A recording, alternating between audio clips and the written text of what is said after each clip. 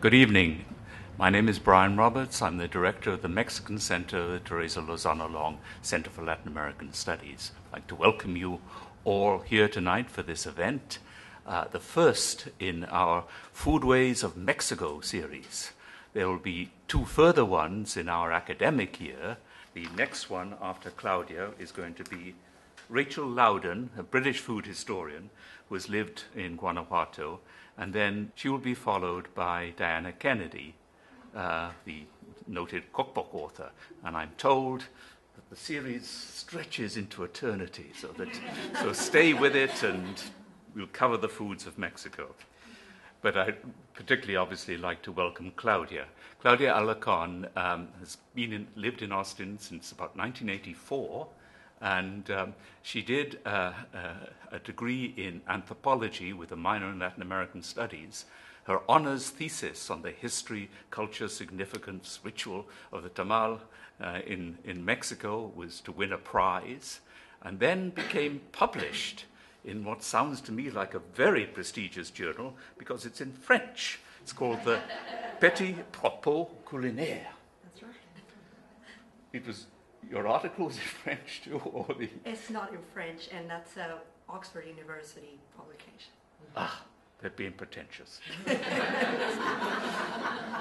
but she's and Claudia's now working on in trying to you know, transform this this this thesis, this honors thesis, into a full length into a full length book. Uh, she's presented um, She's presented at many conferences, International Association of Culinary Professionals, Foodways of Austin, Mexicarte Museum, and she's been writing professionally since 2000 to a variety of local national publications. So, really, we are delighted to have you here, Claudia. Shows that our undergraduate education does some good. so, Thank you.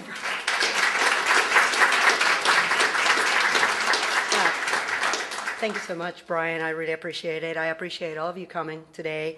We're really excited about this series. Um, real quick, I just want to acknowledge a few people. Uh, first and foremost, uh, coming out here, Gail Sanders, the director of the uh, Mexico Center at LLILAS. Of course, uh, Joe and Teresa Lozano Long, uh, who sponsor everything we are doing here. And uh, very especially the person thanks to whom we all are here today, uh, my mentor, Dr. Brian Stross, who put me in the path of tamales about 10 years ago, and I haven't strayed, Brian. I'm still on it.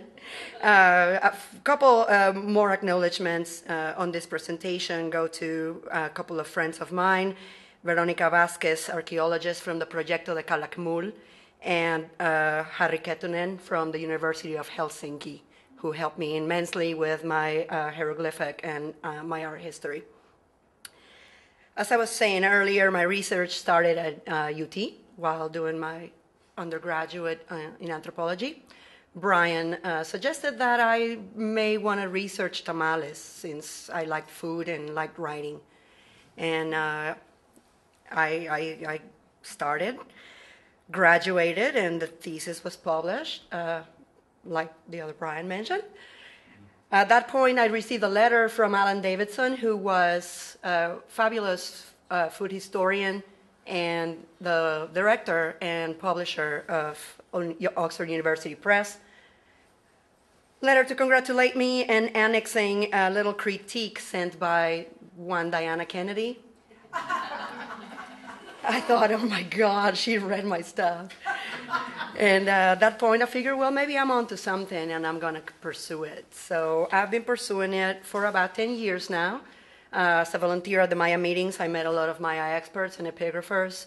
Um, as a food writer, I've, I've, learned a lot about journalism and, and writing, and uh, through a few grants that I obtained, um, finagling here and there, I've traveled a lot around Mexico and I've gotten to learn a little bit more about tamales. And of course, the more I look, the more I find. Therefore, that's why I'm still working on this book that seems like it's never going to be published.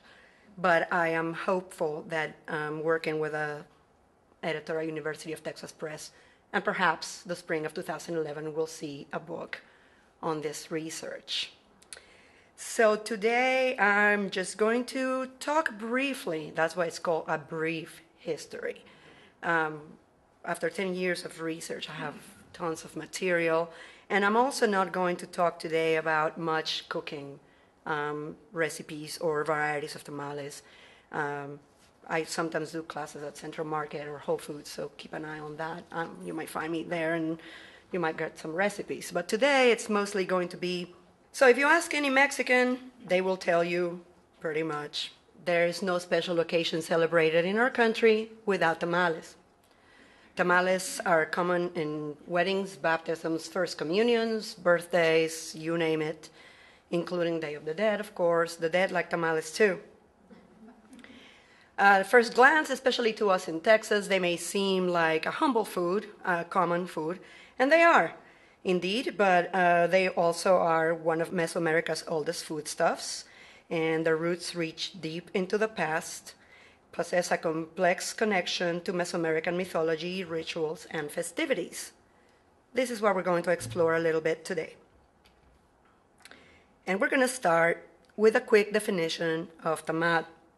And of course, uh, forgive me, Anglo speakers, because I use the Mexican term tamal rather than the anglicized term tamale. Uh, we can consider that tamales are maize breads, quote unquote. Uh, they may be filled with a variety of foods, but sometimes left unfilled. They're mostly cooked by steaming or baking. And a prerequisite for the definition of tamal is the presence of a plant leaf wrapping. Although in many modern societies, unfortunately, aluminum foil has taken precedence over the vegetable wrappers. Uh, the first tamales were probably unfilled, just balls of masa wrapped in leaves and baked and eaten as a kind of bread that may have been dipped in sauces or boiled beans or stews. At one point, it must have become apparent that these fillings could be enveloped in the masa before cooking the tamal, and then the tamal became the all inclusive food item that we know today. It, you could consider it Mesoamerica's first convenience food. Uh, very nutritious, all in one meal that uh, can be carried, easy to eat right out of the hand without the necessity of vessels or utensils. Travel um, travels well. It's ideal for perhaps Mesoamerican men and women who worked away on their fields or traveled for commerce to faraway markets. Tamales more, most commonly are uh, made with masa de nixtamal, Nixtamal is a uh, dried maize kernels cooked in water with calcium oxide, also known as slaked lime. And slaked lime is a term I re- learned from Diana Kennedy, who chastised me for calling it burnt lime. In a very sweet way, she is a fabulous mentor. Tamales can also be made of uh, fresh corn, so it's not a requisite that they're made of nixtamal. The exact origin of the nixtamal process is still unclear. It is possible that it was developed by the first Mesoamerican civilizations, however, since there is certain evidence of its preparation in Salinas La Blanca, which is an early Olmec site at the border between Chiapas and Guatemala at approximately 1200 to 900 BC. This process releases nutrients from the maize kernel and renders it digestible by removing its outer skin. The consumption of calcium oxide also helps unlock proteins from the beans that are traditionally eaten with maize products. Therefore, nixtamalization may well be the catalyst for the exceptional development of a highly sophisticated civilization in Mesoamerica. Without it, these groups would have had to rely on other foods as source of nourishment, and the importance of maize in their culture would have diminished. There are hundreds of varieties of tamales, so therefore I'm not going to speak about them today. There seem to be as many as there are cooks that cook them. Some are made for common everyday use, and some have strict ritual contexts, as well as cultural differences in the process of being made. The diversity in ingredients is significant from geographical and environmental points, as well as from symbolic purposes of the tamal. They exist practically all over Latin America, but Mexico has by far the largest diversity and incredible regional variations. So, for instance, tamales in the north of Mexico are very, very distinct and different from tamales in the Yucatan Peninsula. If you ever find yourself in Mexico City in February, an excellent opportunity to sample many of these tamales is the annual Feria del Tamal events. Dozens of vendors set up booths and sell homemade tamales typical of their state or country. Countries include Nicaragua, Colombia, Guatemala, Honduras, Cuba, Chile, and uh, many others. And hundreds of people, as you can see, stop by during this week long festivals to sample all kinds of tamales traditionally served with atole, which is a hot beverage made out of also corn masa. It is important now to know that tamales have been in use since pre Columbian times and have evolved to include new ingredients, changing costumes, and technology. Of course, after the Spanish conquest, a radical change occurred in the Mesoamerican diet, with new foodstuffs blended in with local ingredients, thus giving birth to a new mestizo cuisine, hand in hand with the new country of Mexico. Tamales also evolved at this point to incorporate dozens of new ingredients, such as the ones we know now pork, beef, chicken, and some esoteric ingredients that are widely used in Mexico, like olives, capers, and raisins. Of course, one of the most dramatic changes was the addition of lard and meat broth to the masa, which makes the masa richer and softer and changes the nutritional value of the former simpler tamales. We're going to delve a little bit into the esoteric world of Mesoamerican mythology. In pre Columbian Mesoamerica, the cycles of life and death were tied to agricultural cycles, and specifically the planting and harvesting of corn, around which many myths evolved. According to both Maya, Aztec, and in general Mesoamerican cultural myths, maize is synonymous with life itself it is the only substance capable of bringing human beings into life.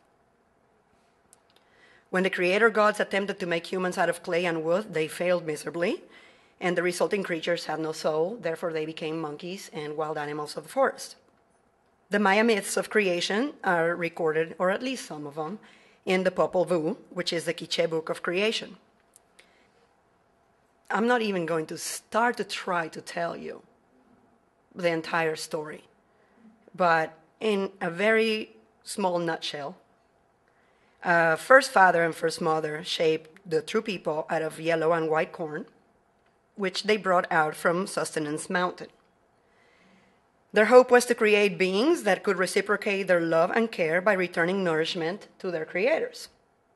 By making beings out of maize, they succeeded beyond their expectations because their creations were capable of prayer and worship, providing sustenance to their gods by suckling them through bloodletting and sacrifice. These myths represent a very interesting relationship between maize and people, because maize becomes the bond between people and the gods, and the vehicle through which life is passed on and regenerated. The gods provide water in the form of rain, which helps engender maize from the earth. The maize becomes human sustenance provided by the gods so people will survive and then sacrifice to them through the offerings of blood, which is the substance of human life. So there is a cycle of transformation that changes food, maize, into the flesh of gods and humans, and then back into food for the gods, blood. This cycle explains the central role of maize in food offerings, meals, and ceremonial banquets in Mesoamerican religious life. So, given this context, tamales may be seen as a symbolic representation of human flesh. And by offering tamales to the gods, people are offering a symbolic human sacrifice, offering maize and water instead of flesh and blood. The birth and death cycle of the maize god is also told through another Maya myth of the Popol Vuh, the one of Hun Hunahpu, or the young maize god, also known in the glyphic Maya corpus as Hun Nal Ye, which means one maize kernel, in one of interpretations. Again, this is a super condensed version, and I really encourage you, if you're interested, to read the Popol Vuh and to pursue a little more knowledge of the wonderful Maya myths. And at this point, I must give a disclaimer to please take into account that these people induce visions through self bloodletting, into various parts of their body with stingray spines that were rubbed on the backs of hallucinogenic toads. So, in this myth, uh, Maize god Hun Hunahpu is the son of first father and first mother.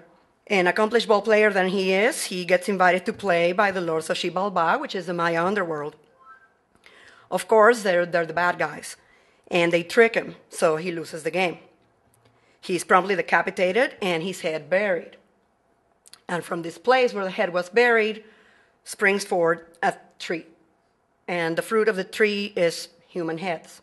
And one happy day, uh, this lovely maiden named Shkik is the daughter of a uh, Lord of the Underworld.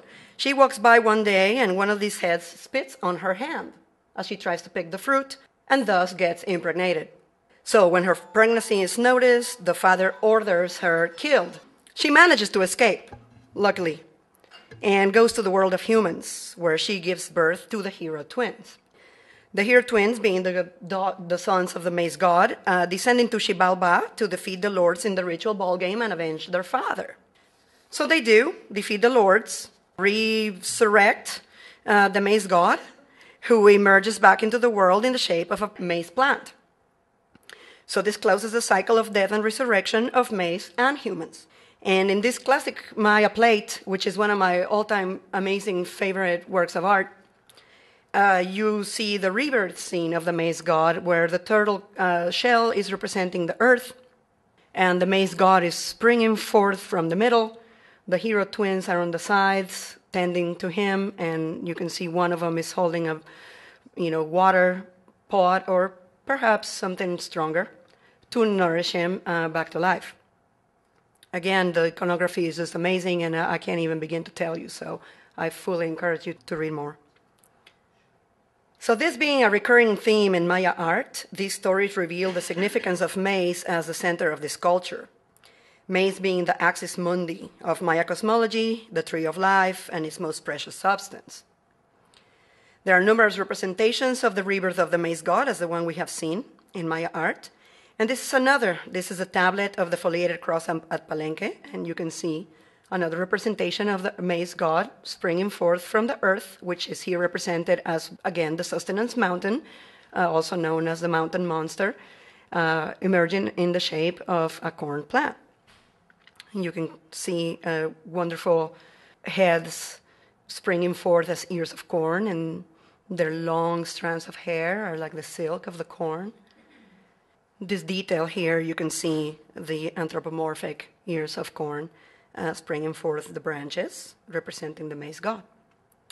And interestingly enough, uh, Mexican historian Enrique Florescano has compared Hun Hunahpu, the Maya maize god, to Quetzalcoatl, who is an Aztec deity that also had the capacity to regenerate himself after being killed and dismembered, like the maize god in the ball court.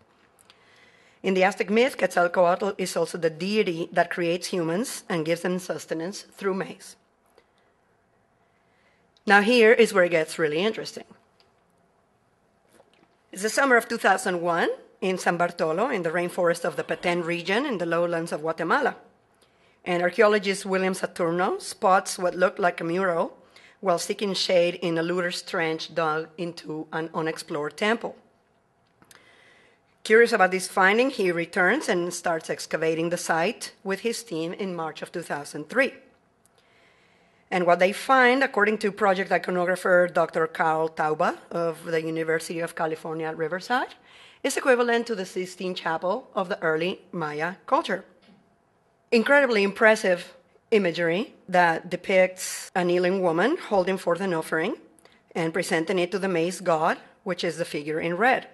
She emerges from a cave in the sacred Sustenance Mountain. This is where the gods found the corn that they brought out to give to humans. So, that, does that sound familiar? This part of the Maya creation myth, uh, well, pretty much experts believe that the creation myth first appeared during the classic period of the Maya culture around 250 AD. But what's really cool is that this mural was painted at about 100 AD. Here's the coolest part, really, and this is the one that almost made me cry when I saw it the first time. The offering that's being presented to the maize god is sustenance emerging in the shape of tamales. So it is now completely clear with evidence that tamales have been at the center of Mesoamerican culture and civilization long before anybody thought previously. The classic Maya also developed the most complex written language in ancient Mesoamerica. Uh, Karl Taube, who is also an epigrapher, proposed in 1989 that Maya epigraphy supplies evidence that tamales constituted the principal maize food of the classic Maya. Now, 1989 was before we just saw that wonderful mural that presented it previously. Regardless, uh, independently and simultaneously, Dr. Taube and Dr. Bruce Love identified the Maya glyph T130, seen in Figure 1, which represents a tamal with a leaf wrapper and whose phonetic reading is wah, a Maya word signifying food or sustenance. According to some of my Yucatec informants, when I did my research travels, the physical proof that one is of pure Maya blood is a dark spot on the lower back, which is known as the wa. So the word wa, as I just mentioned in its many variations, uh, according to different Maya languages, means sustenance, tortilla, or tamal. So thus, today, the Maya are still considered to be made of maize and the living tamales. So in this figure, we see uh, figure one is a post-classic and a late classic form of the glyph wa. Figure two is affix T86, named by Karl Taube as the foliated corn curl. Figure 3 is affix T135, known as the notch ball. Figure 4 and 5 are the glyph for the day sign Kan in the Maya calendar. And the drawings below are the separated elements. So you see the whole glyph, and then in the bottom you see the little ball being the tamal and the little squirrely thing being the wrapper. It's important to note uh, also that in both Maya art and epigraphy, tamales are usually depicted outside or without a wrapper, probably to identify them easily. Here's another important recent discovery a series of murals on the facade of a buried building near the Great Plaza of Calakmul in the Mexican state of Campeche. The iconographic program of these murals has no parallel in the Maya region, since it is not related to ritual ceremonies or warfare. It corresponds instead to activities of daily life, including the preparation and consumption of food.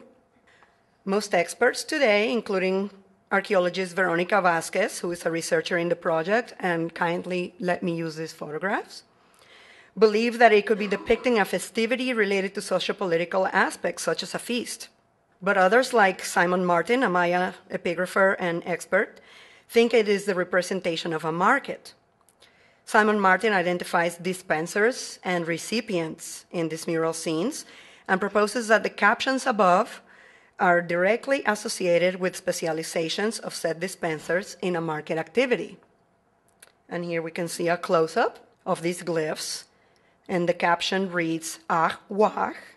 And I'm not going to bore you with the Maya glyph grammar, but in a nutshell, it means it's read as the tamal person, being the specialization of the dispensers. Dissenters of this theory argue that we can observe people offering food and people eating it, but there's no explicit activity relating to exchange, so therefore it wouldn't be a market. However, because pretty much every image I've ever seen studying Maya art and epigraphy has to do with death, war, and rulers, I really hope Simon is right and it really is a market. I know he's brilliant and he is probably going to be able to prove it somehow. In classic Maya vessels, tamales are most commonly depicted in the context of offerings to gods and rulers. Tamales are depicted either round and covered with a sauce like these. Some look rolled, perhaps representing tamales that are layered with beans and then rolled.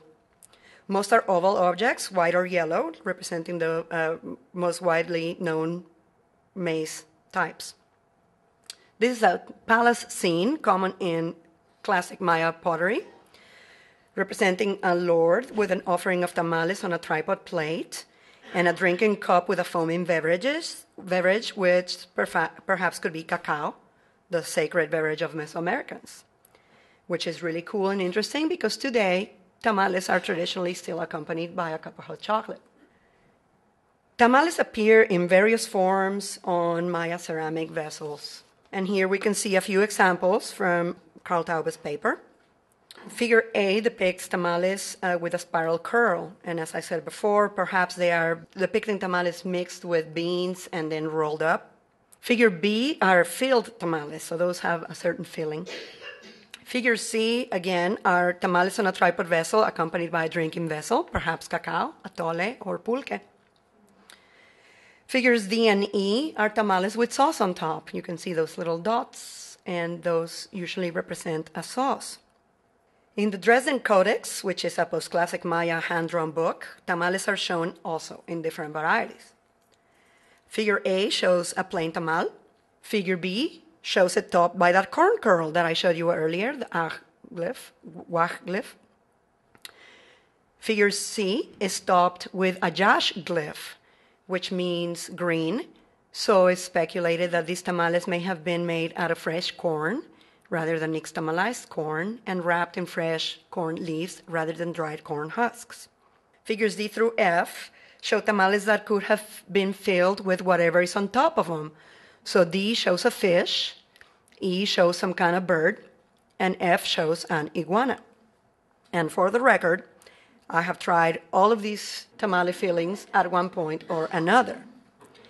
Actually, tamales, iguana tamales can still be found, although they are becoming rare, in uh, coastal regions of the state of Oaxaca. This giant tamal here, uh, depicted in a classic Maya vessel from Tayasal in Guatemala, could indeed be a bridge to the present. In contemporary Yucatec agricultural ceremonies, large round tamales known as nabawa are commonly offered to the chacks of the four cardinal directions. The chacks are the Maya deities responsible for bringing rain. These tamales are formed by successive layers of masa, then meat and sauce, wrapped in avocado leaves and cooked underground in a pit known as pib. They also may be found covered with siquil, which is a paste made from ground pumpkin seeds. And here is the reason why I believe they are a bridge to the present. A contemporary example of a large Maya tamal from the Yucatan city of Mani in central state of Yucatan. These are called mukbil pollo, and they are prepared throughout the Yucatan area, generally offered during Hanal Pixán, which is the Feast of the Souls, or a Maya Yucatec version of the Day of the Dead. In fact, there's a really neat anecdote to this one. Um, these, of course, were taken by me. I was able to go and see these made with a Maya family for the anniversary of the death of the patriarch of the family. I was very lucky to participate in the whole process. Then I read Incidents of Travel in the Yucatan by John Lloyd Stephens, who was an American lawyer and explorer who discovered many uh, ruins of the ancient Maya sites. And he wrote in 1843 about Mukbil Pollos. And I just have to read this to you because I just love his 19th century speech. But pretty much he said that some well meaning neighbors sent him a huge piece of mukbil pollo that was as hard as an oak plank and as thick as six of them. In a fit of desperation, we took it out into the courtyard and buried it. There it would have remained till this day, but for a malicious dog that accompanied them on their next visit. He passed into the courtyard, rooted it up, and while we were pointing at the empty platters as our acknowledgement of their kindness, this villainous dog sneaked through the sala and out of the front door with a pie in its mouth, apparently grown bigger since it was buried. They're not that bad, really. Today, these tamales are filled with chicken and sometimes chicken and pork. Although, if they were prepared in pre Columbian times, turkey would have likely been the stuffing. The sauce is called col. Col is considered the blood of the tamal. It is also rubbed on the outside to give it a nice red color and to seal the filling in. And the red color looks just like in that painting of the, on the vessel we saw previously. Like the nabawa that I mentioned earlier, these tamales are also baked in a pib over coals and hot rocks and buried for about an hour. Another colleague of mine, anthropologist Judith Strupp Green, who has documented Hanal Pixán celebrations in some Maya communities, proposes that cooking this tamal underground represents a ritual burial and resurrections, just like that of the maize god. I also think it could represent the planting of seed corn and its resurgence as nourishment for humans. Of the Spanish chroniclers, perhaps Fray Bernardino de Sahagún dedicated the most time to detailing the foods of the Aztec in his compilation of writings known as the Florentine Codex. He described many varieties of tamales that were available at the time of the conquest and their production, consumption, and ritual uses. According to his writing, the Aztec consumed tamales at weddings, births, and on many occasions for celebration, including celebration of deities, but they also were widely available as a common foodstuff found at markets. Sahagún observes that on the 10th month of the Aztec calendar, known as Xocotl they celebrated the festivities dedicated to the dead with huge tamales made of amaranth. The festivities dedicated to the god of the underworld, Mixcoatl, took place during their 14 months, called Quechcoli, when a couple of sweet tamales were placed on top of graves. In many regions of Mexico, tamales are still offered during the Day of the Dead, and many particularly interesting varieties are prepared specifically for these festivities. This one seen here uh, at an ofrenda in Oaxaca is known as tamal de siete cueros, seven skin tamal, made in layers, as you can see, with beans rolled and then sliced, not unlike a jelly roll. And it's impossible not to note that the rolling creates that spiral pattern that resembles the one seen in the pre Hispanic depictions of tamales we saw previously. Sahagún also notes 10 specific Aztec calendar celebrations in which tamales were offered, many in relation to agricultural events. This includes February 2nd, which corresponds with the beginning of the first month of the Aztec calendar. And here Sahagún writes This month began the second day of February when we celebrate the purification of Our Lady. On the first day of this month, they celebrated, according to some, the Tlaloque gods, who they believe are the gods of rain. Sound familiar? The Catholic celebration on February 2nd is known in Mexico as Dia de la Candelaria. As Sahagún explains, it parallels ancient Mexican planting ceremonies and represents the start of the agricultural cycle. For many indigenous groups, it represents the day of blessing and purification of seeds that will be sowed and cultivated the following season. Others celebrated as the purification of the Virgin Mary, as Sahagún explained, and the presentation of Jesus in the Temple of Jerusalem. In Mexico, this is represented by porcelain figurines of the baby Jesus, who get elaborately dressed to be presented and blessed at the church on that day. This example I love, and this I found at the Museo de las Culturas Populares in Mexico City on an exhibit of a competition of dressed baby Jesus figurines. As you can see, he's dressed like an Aztec noble. I don't know if you can see his embroidered little dress. Looks like he is sprouting forth from a watery environment and sprouting all kinds of plants and ears of corn and corn plants. And in the background is a mountain that looks like it's erupting. That is probably Popocatépetl. He's perched atop a little temple made of all kinds of grains beans, rice, and wheat, if I remember correctly. Copal, well, incense uh, burner up in the front, a little rabbit representing spring and prosperity of life, I suppose. This is an incredibly perfect example of the syncretic relationship between the Catholic and Aztec nature that permeate this holiday. Of course, it also, to me, represents its incredible and inextricable relation to the planting cycle of the ancient Mesoamericans. As fate would have it, Dia de la Candelaria is notably the holiday for consumption of tamales in Mexico. So, to me, it suggests another ritual association. Tamales in this occasion may be representing the bundle baby Jesus as a parallel, so to speak, to the birth of the maize god. How cool is that? Sahagún also describes many other types of tamales that were common in pre conquest Mexico and are sold at the markets by people whose job was of a tamalera, a professional maker and seller of tamales. Tamaleras are often found in the streets and markets of cities, big and small, in modern day Mexico and actually also Guatemala and Belize. I'm pretty sure they exist in many other countries in Latin America that I have yet to visit in further research. Of course, in many of Mexico's urban centers, such as Mexico City, Dia de la Candelaria spurs an incredible economic opportunity for small family owned tamales businesses. And these here are an example of Aztec times from the Codex Mendoza. And I kind of like the progression because that Huastec lady in Ciudad Valles has a headdress and a basket that looks just like it. And then that other lady in Oaxaca City is a little more modern, but their face to me looks the same. It's just really an incredible bridge to me that is clear and evident of a tradition that has not changed for centuries. I know you're anxious to ask a thousand questions that I probably can't answer. Most likely, you're anxious to go try some tamales for yourself.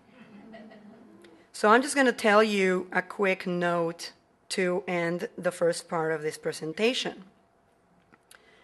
Tamales are clearly beloved by young and old, rich and poor, rural and urban folks, in Mexico specifically, but all over Latin America.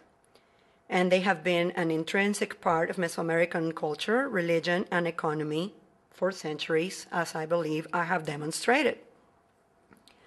Because of their constant representation as an offering and it, their association with depictions of the maize god of the complex mythology of Mesoamerica, I propose that tamales may have acted as a representation of the body of the maize god and may be interpreted as a symbolic human sacrifice. As such, they have been offered in rituals for deities, for the dead, and at feasts or special occasions since pre Hispanic times. And clearly, these ritual uses carry through today. Tamales remain an important cultural link between the ancient and modern beliefs of the peoples of Mesoamerica. And with this, I want to thank you for coming to my little humble presentation. And if you have any questions, I'll be happy to answer.